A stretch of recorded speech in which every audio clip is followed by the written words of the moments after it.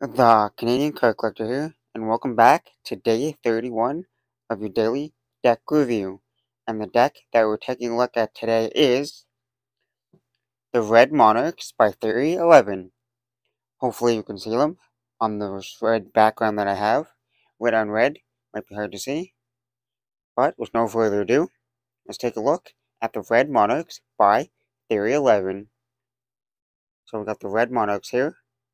This is a glossy red tuck box with a bunch of gold foil here all over the front and and it is embossed and debossed. So you can feel all these most of the lines and the words here all over the front of the tuck box. It is a really glossy tuck box so it might be hard to see a little bit in the light. But it says monarchs high qual high quality playing cards made in the United States of America. And you get all this gold line work here on the front of the tuck box. We get to the side of the tuck. It says high quality playing cards produced by Theory 11 made in the United States of America. And we got the Theory 11 logo here. Other side, made in the USA, no, made in the United States of America. Then we got like a lion here. Or house.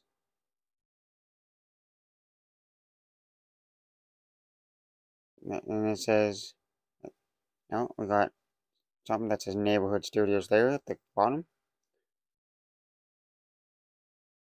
On the back, you got the back design. But we'll take a closer look at that in when we get to the cards and this is embossed in more gold foil.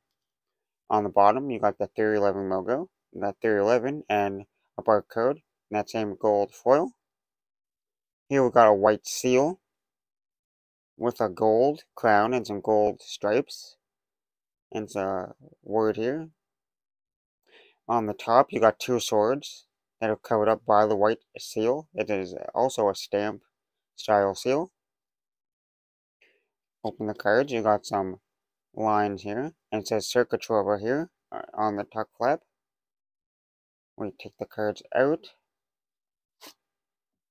There's nothing on the two little flaps, but the inside of the tuck box is just a matte red finish.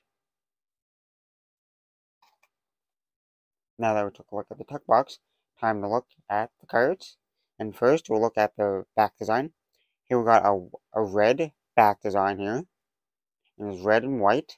So we got a red ba background with the white details here. You got the snakes, the sword, and the, leaves a standard monarch deck. Yeah, and it is in a bright red color with nice thin white borders. And this is a mirrored back design, so you can flip the cards over in the deck. And it looks the same now for the cards you get, you get two identical jokers here. They both say Joker, Joker here in the corner in black. Then you got a, a guy riding a bicycle and says the Joker, made in the USA underneath. And it, they're both in gold metallic ink. Then you get a Theory 11 ad card here. And then you get a double backer Then we get on to the ace of spades here. You get a nice standard ace of spades here with some gold metallic ink here and the some line work here with a crown with gold metallic ink. And it says trademark monarch playing cards made in the United States of America. And then we get to the rest of the spades and they're just standard spades.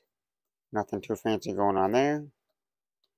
Then we get to the court cards they're just standard court cards, but slightly changed colorway here.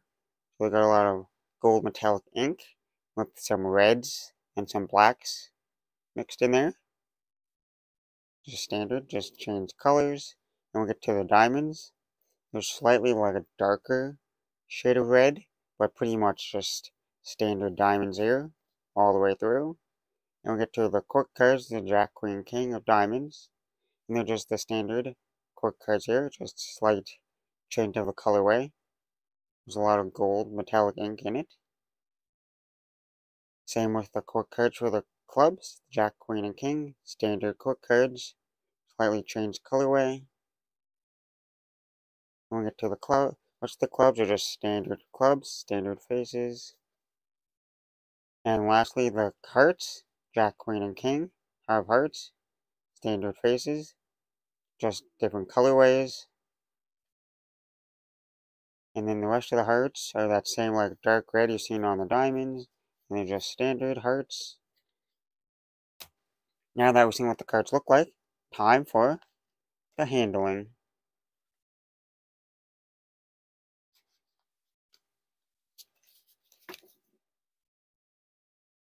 This deck has has been broken in, so we'll test the springs and see how they hold up.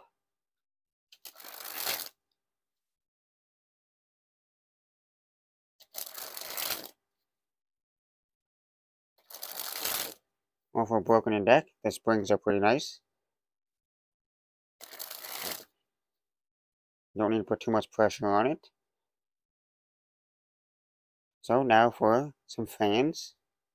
See how the fans hold up after having this deck. Been using this deck a bunch. And well, they handle pretty nice. There's no clumping at all in the deck. They fan pretty smoothly every time. Now for a Faro Shuffle. And with a Faro.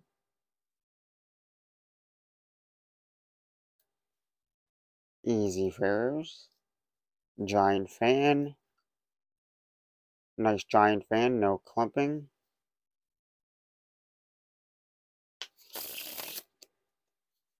So far, so good. Now for the reverse Faro.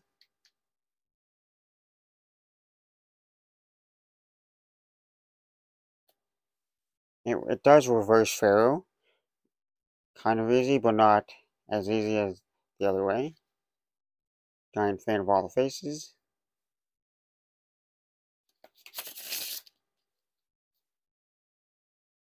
Time for the Faro, the Riffle Shuffle or Bridge Shuffle.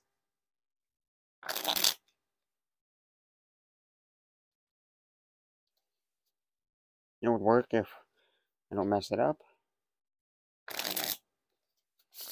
That was a better one. One more for good luck. Nope, never mind me. I just can't do the, the shuffle, wiffle shuffle today. Nope. We'll attempt one more. Okay, well, we got one good one earlier. Now for some packet cuts.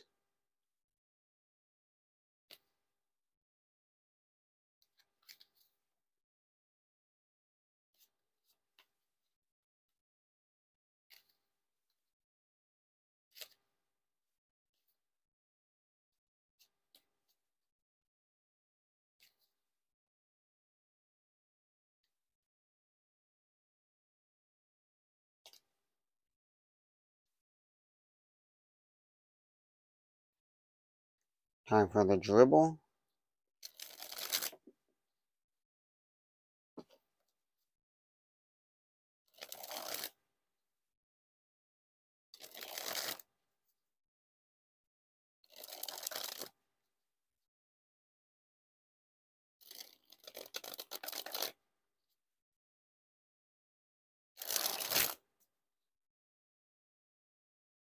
So far, the handling, the handle pretty good for being for already being opened and used.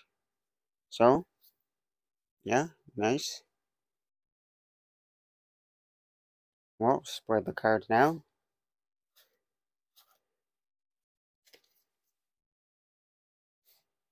Well, as always, Theory 11 has a comes up with some good decks, great handling, great designs. The Monarchs are a staple of Theory 11. The red ones are No exception? Well, that has been day 31 of your daily deck review. This has been The Red Monarchs by Theory 11. That's the video. Thanks for watching. Bye.